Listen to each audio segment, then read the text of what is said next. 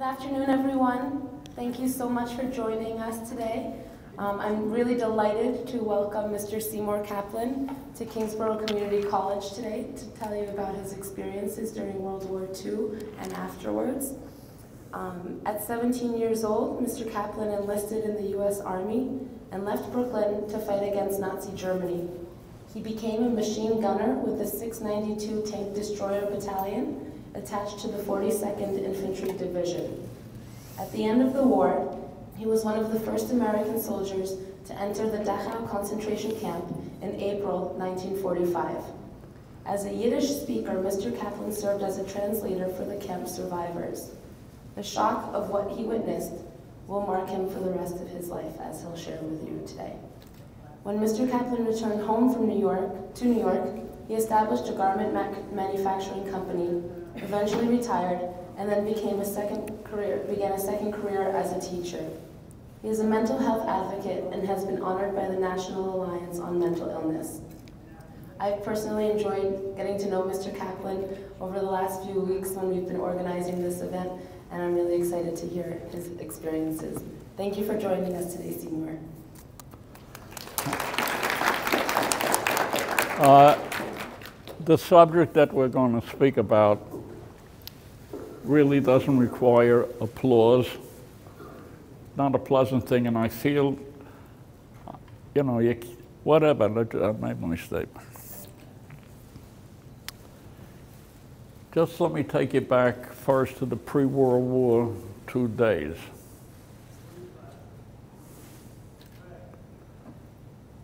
You done?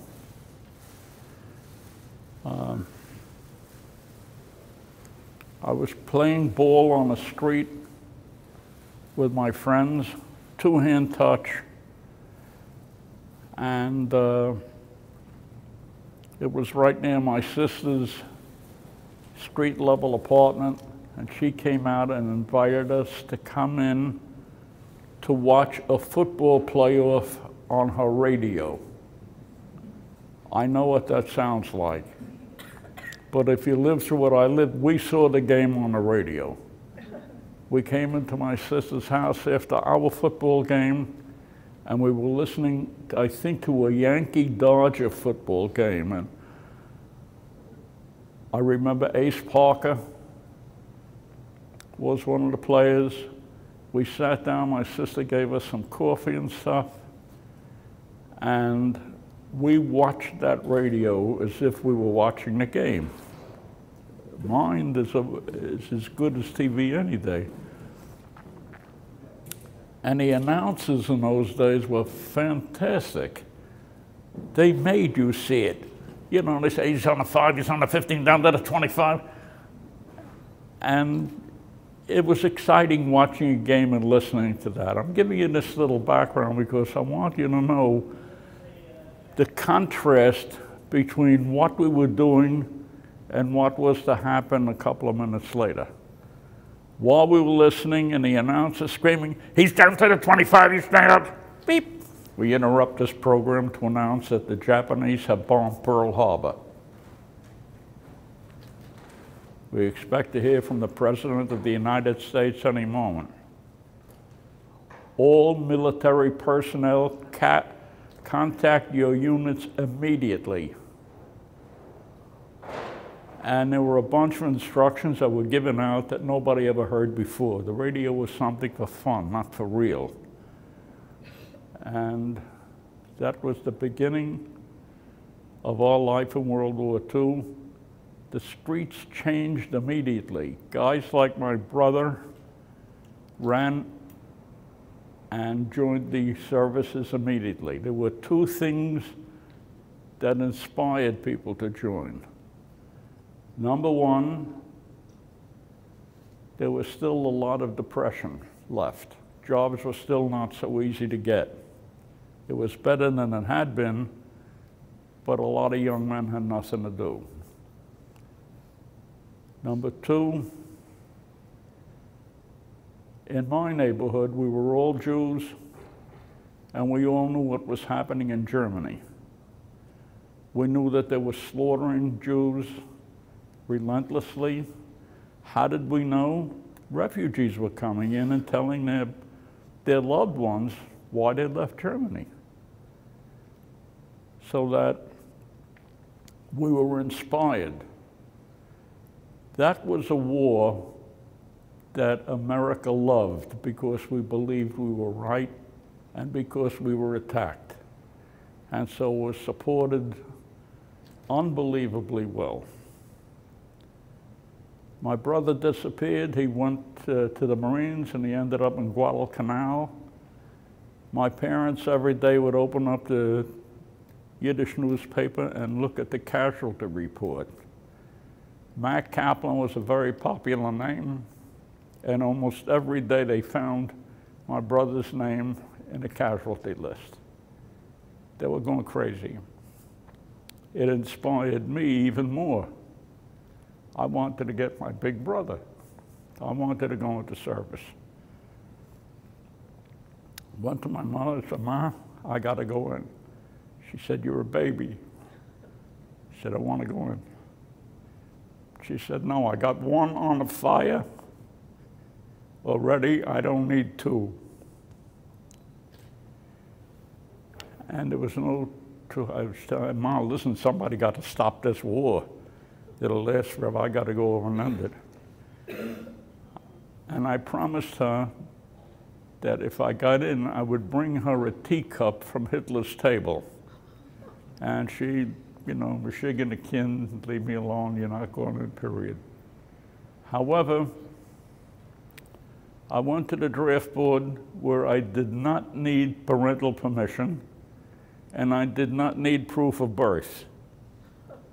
I went down and I said, um, I registered for the draft and I put down that I'm applying for immediate induction and it was immediate. I turned my back and I was wearing a uniform.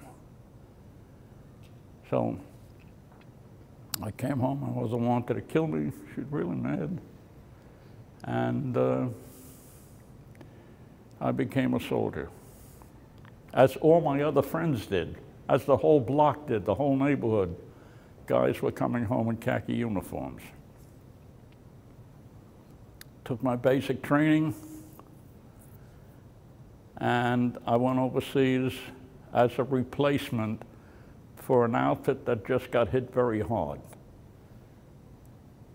They brought me in, and uh, I went overseas as a replacement, and you, you're always moving around. You're in a box car, you're in a truck or something. They're moving you from one place to another, and finally somebody said, you're going to be assigned to this outfit. There's the 692 tank destroyers, and you're one of them now.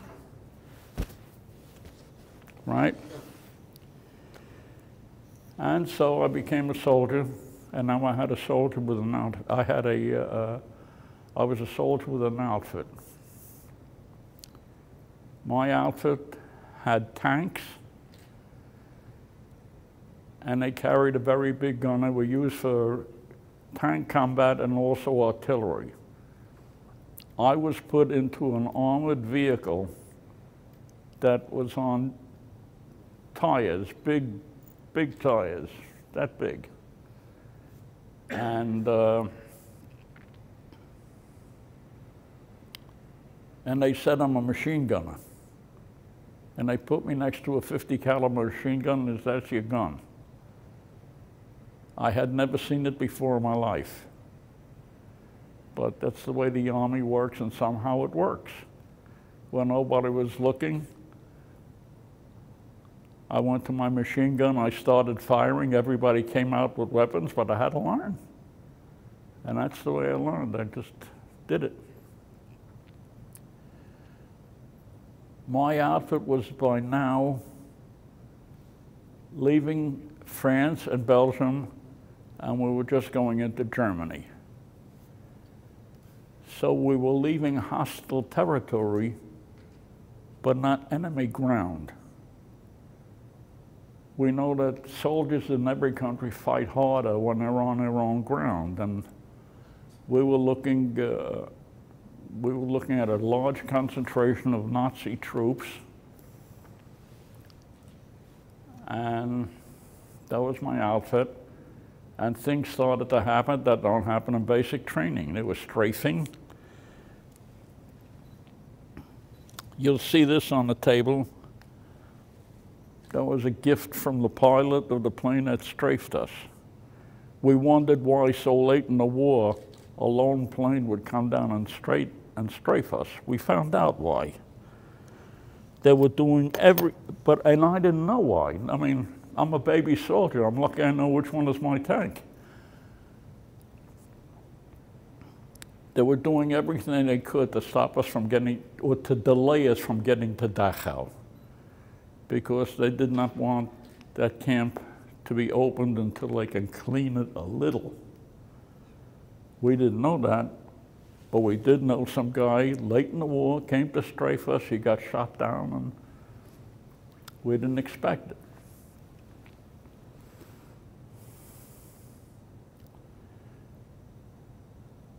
At that time, we entered Munich.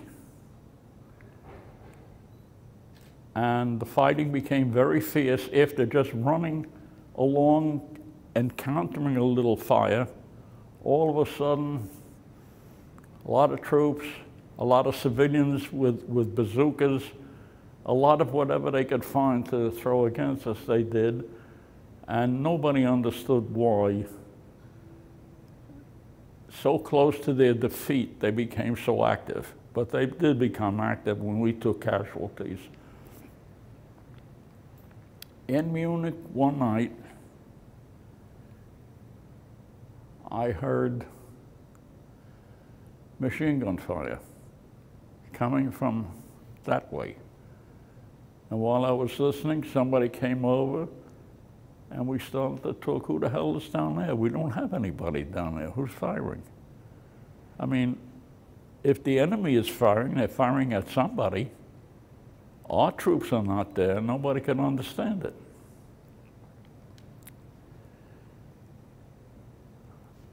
I got to back up a little. Uh, when I came in as a replacement to a combat outfit, my, my fellow soldiers were really combat weary and nasty, not to me, just tired of this thing. And when night time came and they wanted a place to sleep, we were allowed by military law to seek a place to sleep. I forget, uh, billeting. You can go to a house of the enemy and say you need a place to sleep, and you can take a bed in that house or as many as you need. And we used to do it. However, our, most of the, the soldiers in my outfit were Southern kids, and when they came in and they said to the German uh, door answerers, they knock on the door and they say, how many beds you got? Was? No bullshit. How many beds you got? Nobody could understand it, and they would fight it out until they were able to just push everybody aside and take the beds. But it took a toll on them. They, were tired guys after a ride. Now they got to argue for a bed when we were entitled to one. When I came in, my Yiddish was close enough to German for me to say, wie viel Betten haben Sie? Sieben Betten. Ah, good sieben amerikanische soldiers do schlafen. You got seven beds, seven soldiers will sleep here. And I walk away, and it was like magic to these southern kids that, you know, they didn't know there was such a language as Yiddish. They thought I was talking German. There was a very important consequence of my speaking Yiddish to my friends to get to bed. And that consequence was when Dachau was taken by us, my colonel understood that he would need somebody or some people to keep the prisoners under control, the Jews. So he needed Yiddish speaking American soldiers to go into that camp. My captain wonderful guy, Ralph Florio, was called upon by my colonel as one of the parties that would go into the camp because he's a Jew. He'll be able to speak to the Jews. But Ralph Florio was a Spanish Jew. He could not speak Yiddish. But he remembered that he had a kid in his outfit getting beds that could speak Yiddish. So as I was sitting, they went into Dachau, they went towards Dachau. Uh, my outfit, a contingent of men headed towards Dachau, and somebody came running up to me and said, Captain Florio wants you to get into a Jeep and come in. I went into a Jeep, and I was selected, as I said, because I spoke Yiddish. I went into a Jeep. I had no idea where I was going. My map said Fürth, Nuremberg, Munich, Dachau. I didn't know what Dachau was. I was a baby soldier. We're the dumbest guys in the world when you're a baby soldier. When I got to Dachau, we did not go into Dachau. You're gonna, you must have heard a million times how we fought our way into Dachau. We didn't. The camp surrendered. I saw it. We did not fight our way in. But we did have to hang around the outside for a, for a while because I used to go into houses to empty them, into apartment houses to empty them out when I was with my unit. I used to carry a special weapon. Uh, we called it a grease gun. You couldn't aim that weapon.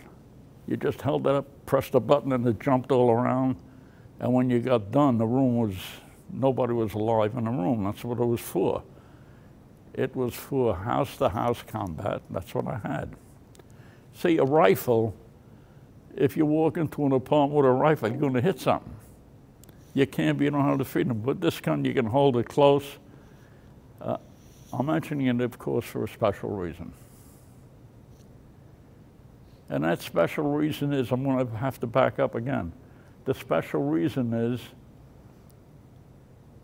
our officers knew what our reaction would be when we walked into that camp. They were briefed. The intelligence had told them what to expect. They knew when we walked into that camp, if we had guns that can spit out a lot of bullets, we would use them because we were walking into hell. Not dangerous. I'm not saying, you know, a lot of shellfire, but we were walking into a place where terrible awful, unbelievable things that happened. We were hanging around.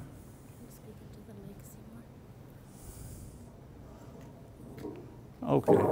I think it's easy to move me. Okay, you hearing me? We were hanging around on the outside of the camp as a unit, and there was one officer, not from my outfit, who had taken over and he was giving us instructions, military hand instructions. He was giving us instructions to stay there. And looking into the camp, I could see American soldiers talking civilly to German soldiers. I could also see bodies stacked up from a distance. I said, could it be? They were stacked up like rice bags in one of those Korean grocery stores. One, two, three. I couldn't believe what I was seeing. I thought, you know, the distance had changed my understanding of what I was seeing. Finally, the officer in charge of us stuck his hand up. That means, let's go. This means follow me. And we walked into that camp. Wow. There was a wall of people stacked. The first thing I remember when I got into the camp that somebody's had slid from that pile and were laying outside of the, the area that they were intended to be in. And amongst the bodies that slid, there were a few German officers, very well dressed, who were shot and killed and laying there from action that preceded our being in there. And I remember I couldn't stand looking at that German officer in his death laying amongst the prisoners. I pulled them off. Just, it was a desecration of something that was also already terrible. I remember one of the officers said to me, How high is that? How high is that body of soldiers? Uh, that stack of bodies, I reached up, trying to get to the top. I said, About seven feet, sir. Thank you, son. That's all, just seven feet. That was the end. And some things you just never forget. That about seven feet just stays with me forever. I worked in one school in Brooklyn where the paint ended about here and then the different colored paint, and I couldn't stand walking into that room because it was about seven feet. These things don't leave you. In Dachau, mayhem. A lot of small arms fire. Pop, pop, pop, pop and you don't know where it's coming from. It was coming from guys who couldn't believe what they were seeing, and in their terrible anger, because we were all terribly angry, they saw the prisoners themselves would come up to me and say, Ich weiß wer er will. I know who I want. Give me a pistol. And that was too dangerous. We had enough small arm fire, and I wasn't allowed to give him a pistol. I would love to. And I went over to one little old lady who may not have been so old.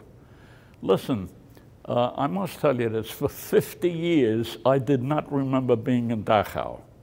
Just about 1995, the VA told me that I was there and certified it.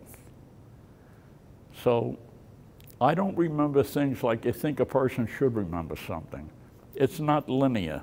It's little explosions that somehow I've been able to reconstruct into my mind as some linear thing. But for 50 years, I had a very normal life. I had a nice wife. I had lovely kids, had good friends, had a good life, but for 50 years I did not know I was in Dachau. I'm saying that so you'll understand why I'm not linear, and then this happened, and then this happened.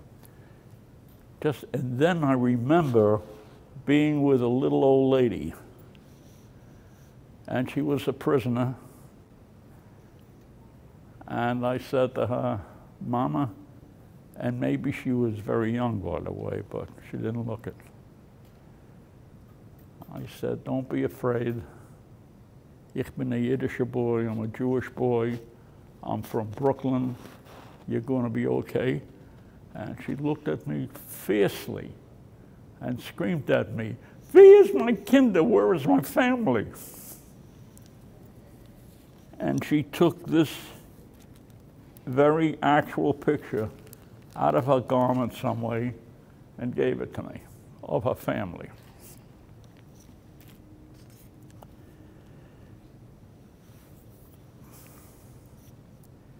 I took the picture and there had been a wire fence someplace to my right. And it was electrified when Nazis were in control. Of course, the electricity had been taken down by now. And the minute the electricity was taken down, the male prisoners on the other side of that fence pushed it down. So we had to scramble to get out of the way of the fence. And there was an onrush of men who had been behind bars for the last four years in these terrible circumstances. In that madness, the little lady disappeared.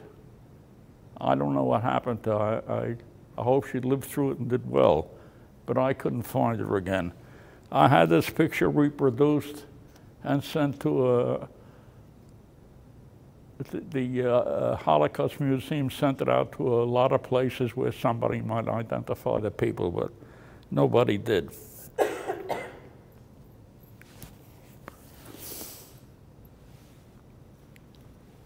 I left her.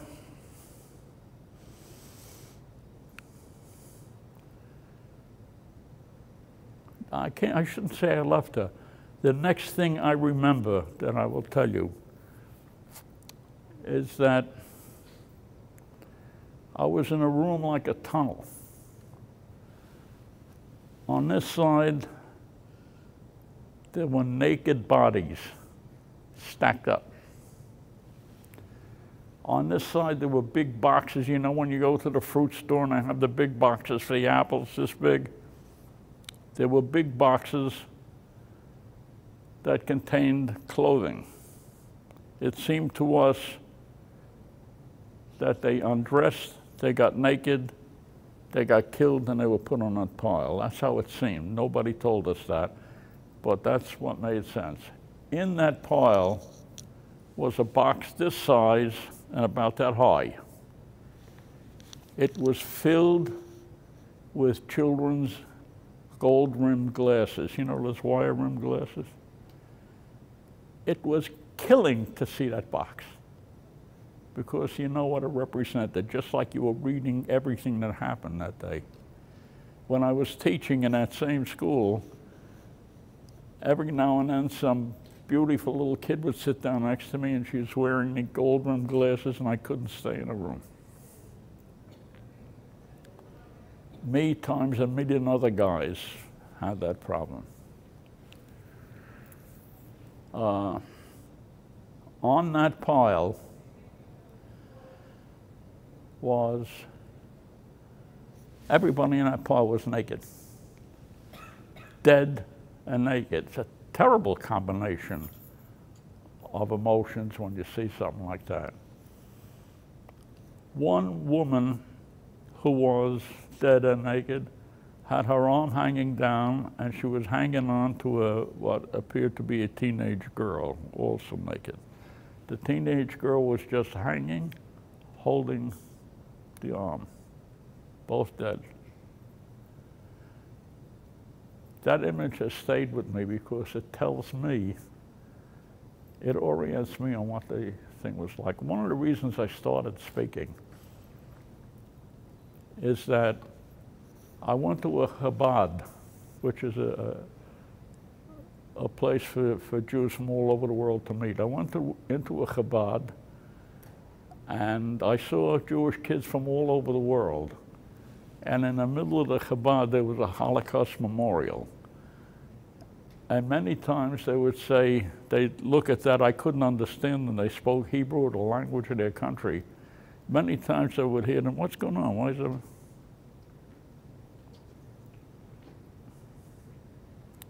You can't hear me?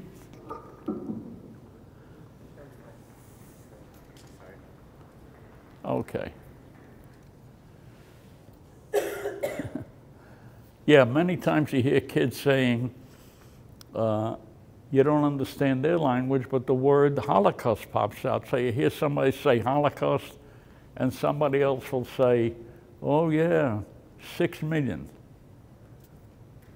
And that gets me. Like on Pesach, every Jew says, once we were slaves in Egypt, today we are free men. Every, or so many Jews say that, not one feels that emotional connection. We just say it. You know, you, you just say, oh, yeah, yeah, very good. Where's the gefilte fish? It's the way it is.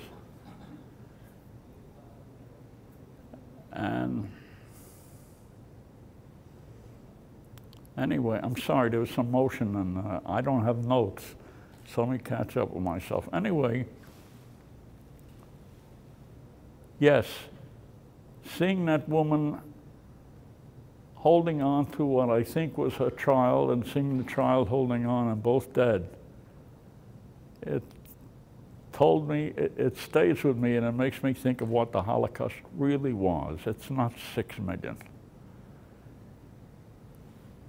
It's a mother having to say to her child, don't worry, sorg sich nicht. Get undressed. Everybody else is getting undressed. Who's going to look at you?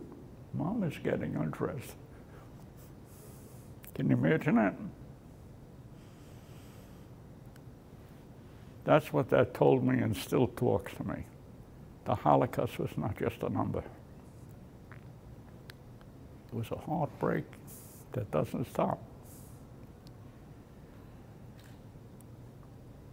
The next area I remember very well, like it was yesterday, somebody said the ovens. And you know, I'm a Jewish boy from Brooklyn. Uh, to me, if you want to go someplace, it's up the block, around the corner by the candy store. But when somebody came over to me and said, uh, in the northeast corner, I didn't know what they were talking about, but I followed the crowd. And I followed them good because I was one of the first of the crowd to be there. A million United States Army officers standing there. Uh, Life magazine taking photos. Uh, and I never saw those photos published, by the way. Life, later we can talk, I can tell you why.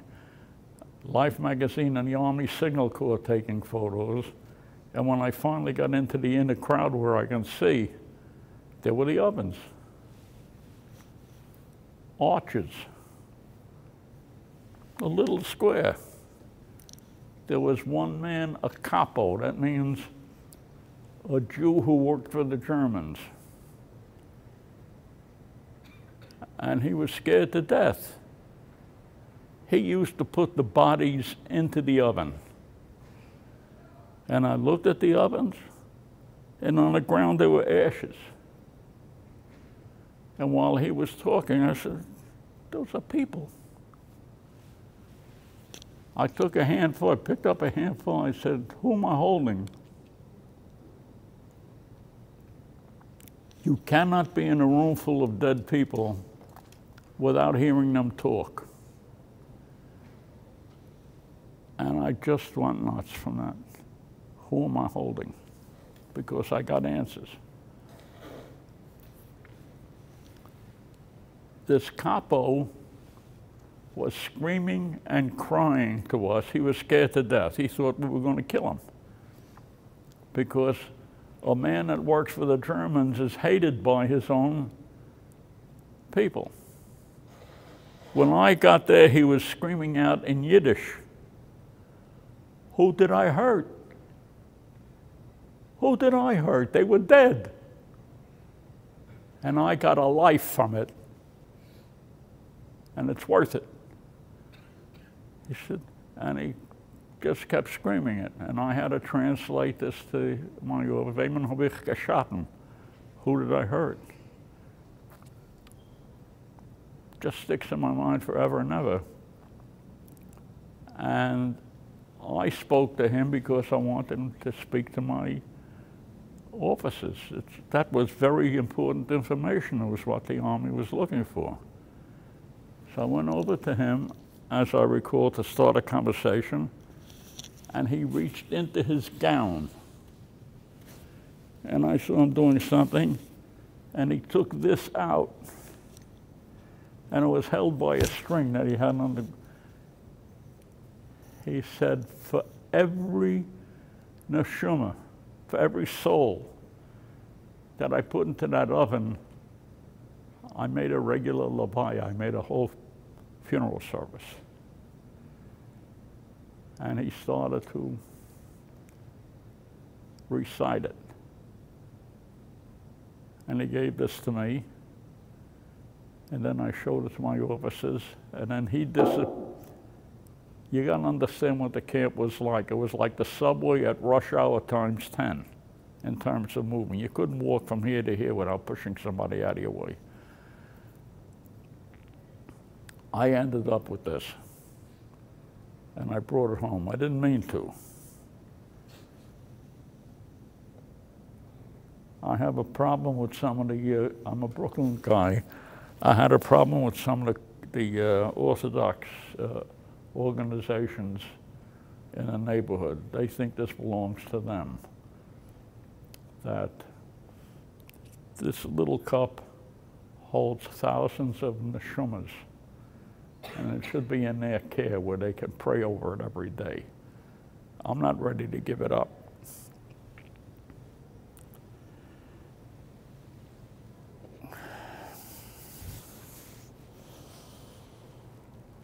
I spent a lot of time at the ovens just translating. Uh, this guy was a Polish Jew, and his Yiddish was not the same as mine, but I worked it out and I was able to pass it on to my officers. Remember, I was 17, maybe 17 and a half years old. I was a baby and dumb. You know, you don't understand the world at that age. And I was hurt. But I did what I had to do. The next thing I heard was northeast corner. Remember when I told you I heard the machine gun fire? Did I tell it to you? The night before. The next thing I heard is that boxcars filled with Jews, northeast corner. I found myself heading in that direction and when I got there, I found out what the gunfire was the night before. There were 36 boxcars filled with Jewish prisoners from another camp who were being taken to Dachau. They had been in those boxcars for 14 days, two weeks. No food, no medical attention. Hardly air to breathe, and the boxcars were locked. No toileting facilities, just locked up. And when I got there, other GIs had been there before me and they were doing whatever they, you couldn't shoot the locks off because there's people inside. So they were hammering the locks off or whatever they can do to get it off. And they opened the car. In my view, the car that I saw they pulled the door open and bodies slid out on the slime that they had created. They just slid out. My memory, not much comes back from that. I just remember going through body after body after body and pushing aside, looking for someone alive. And I don't remember much of what happened except I remember pulling bodies and pushing bodies and saying it's a horror. I'm living in a, I'm living in a horror movie. How can it be? And the, the next thing I remember is kids, boys, maybe 14, 15 year old, wearing the Nazi hated SS uniforms, much too big for them. And they were hosing me off because I had all the human slime on them, my uniform, filled with it. And they were washing me off. Let me explain those kids. Those nice, brave SS officers who were walking around able to carry this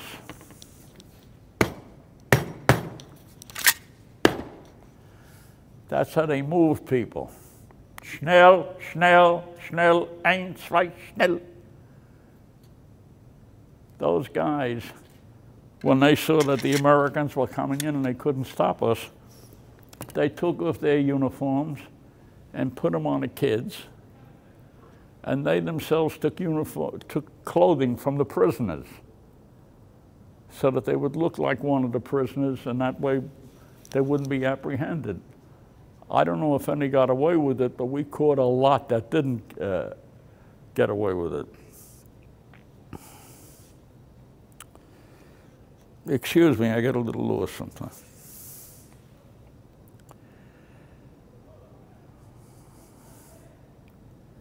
Yeah, I just wanted you to know that the kids were running around in SS uniforms. Uh, well, I'm getting a little blackout here. Maybe it's enough. Okay.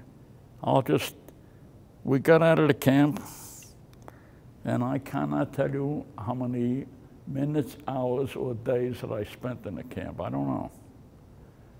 I lived in, a, in an explosion of time. I hope I'm not uh, missing anything. Oh, yeah, yeah, am. This belt, when you come up here to look at it, this lying belt shows what the officers, what they were trying to tell the inspectors that came from the uh, other countries to see the condition of the camp.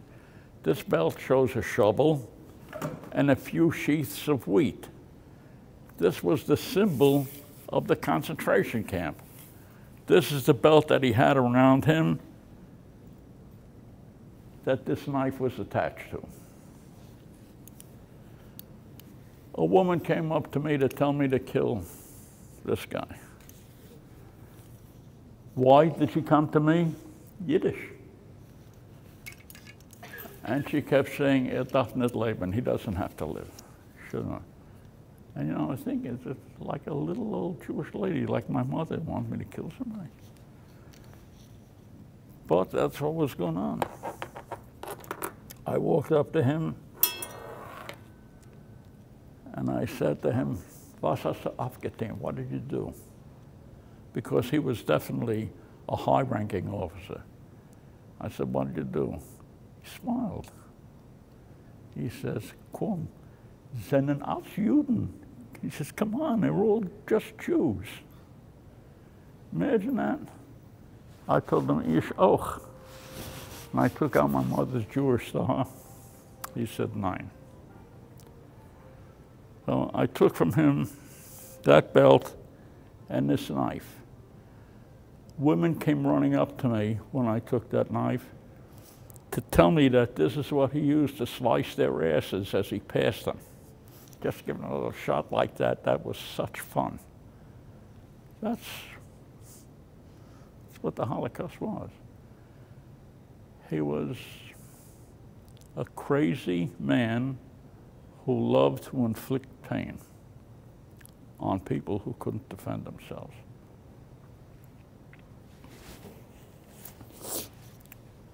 And, you know, we were, we were not very forgiving. You'll be able to walk up here and see some, some of the tchotchkes.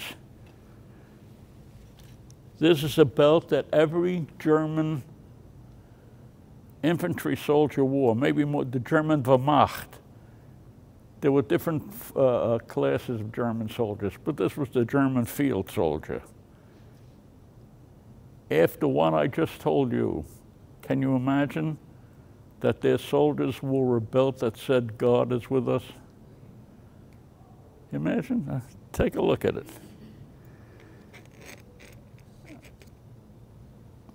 A friend of mine wrote this book, Journey to Dachau. He was in my outfit. We knew each other well, very. Let me just read this to you because I thought I thought there's something wrong with me. How can you not remember what I'm talking about?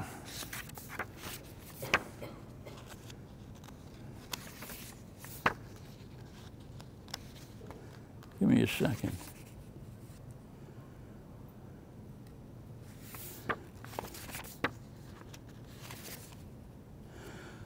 I'm quoting from this book. During, for the past 50 years, I have been unwilling, perhaps unable, to speak or write about the war, and for me, its nightmare final curtain in a barbarian town of Dachau. Imagine that. Same thing happened. Anyway, I and a lot of other guys, we saw it, we lived through it, we got out of it, but you take something away with you.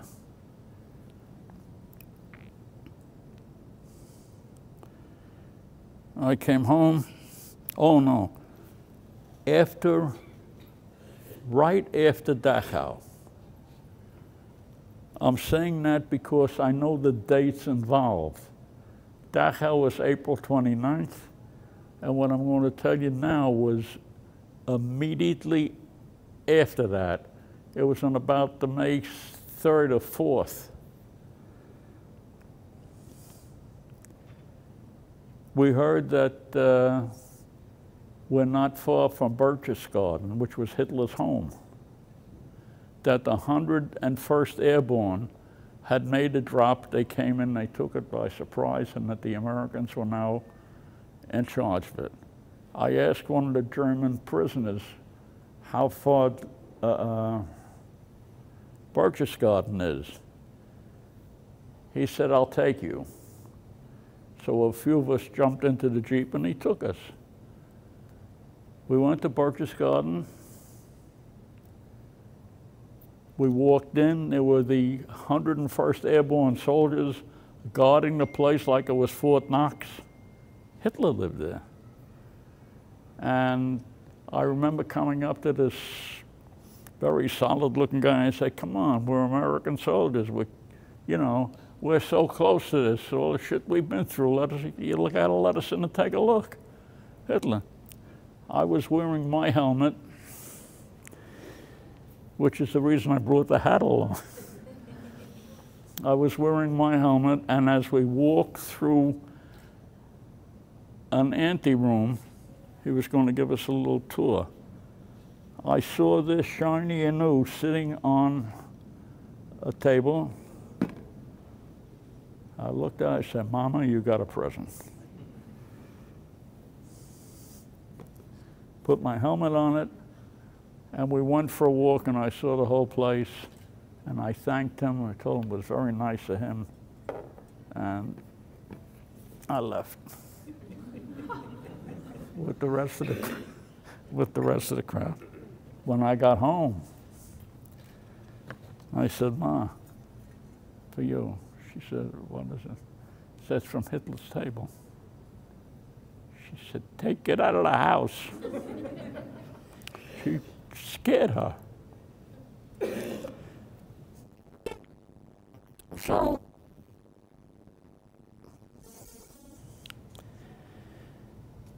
when we got back to Munich, I had an incident that I should not forget. Now I was back to obtaining rooms for my soldiers. Munich had apartment houses. It was a lousy job because I had to run up to the top to the roof to make sure nobody is up there and then go down door by door and make sure that there isn't a machine gun nest in there. Because those buildings were higher than the rest of the town and they had a good line of vision. So remember, that's why they gave me that fancy gun, which I meant to tell you, when I walked into Dachau, one of the officers ripped that gun off me because he knew anybody carrying a weapon that can shoot that much would use it in Dachau. There was a tremendous, tremendous amount of small arms fire. I saw the machine gunning German soldiers. It took people into madness. I'm not saying that they stayed mad, but at that moment, no more rules. Anyway, now I'm back in Munich, and that night I knock at a door and there's a, a lady in a nice ground floor apartment in a wheelchair. And I said to her, you'll have to go to with one of your friends. She spoke English perfectly. I said, you'll have to go to one of your friends. You can't sleep here. She said, why? I said, I'm putting seven American soldiers in here. Pisha, 17 years old, I'm, I'm putting. Uh, she said, you would send me out in a wheelchair? I said, lady, worse things have happened in this war. Just get out, get with a friend. Seven American soldiers are going to sleep here. She said, Why don't you look around first? I said, For what? She said, Know who you're sending out.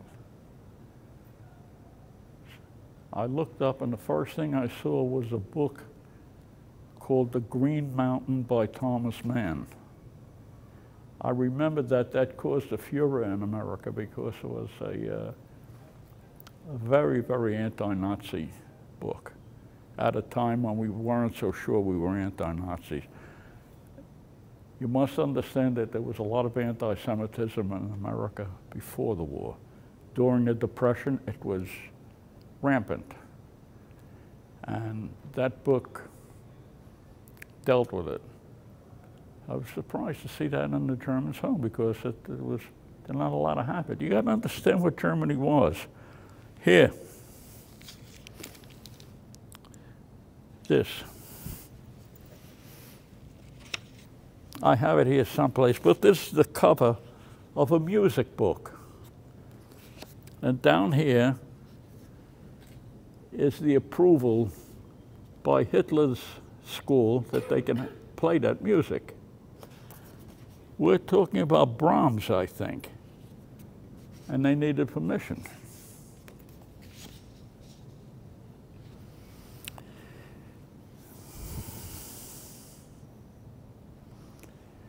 Anyway,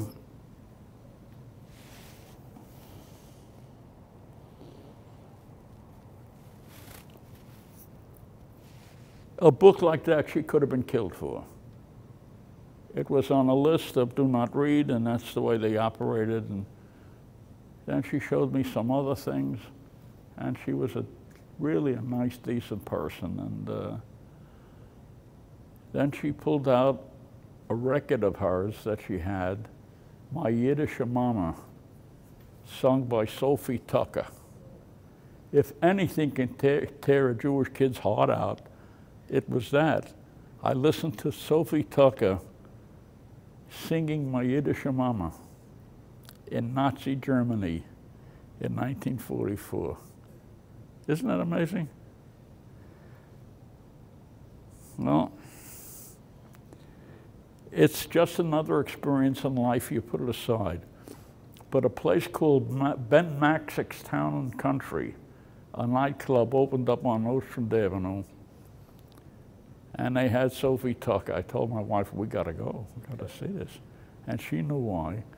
And we went and we listened to Sophie Tucker, and at the end of her performance, she had a little table set up where she was selling her records. And I, I love this story. I walked over to her and I said, Miss Tucker, yes. I said, uh, I got to tell you a story. She says, come on, do it fast, I have to. I told her the story, and I said, and there I was in Nazi Germany in 1944 listening to Sophie Tucker sing My Yiddish Mama. And she said to me, My Yiddish Mama? I cut that record years ago. You expect me to have it here now? She missed it. She didn't get it. I think I'm done. I, okay, thank you.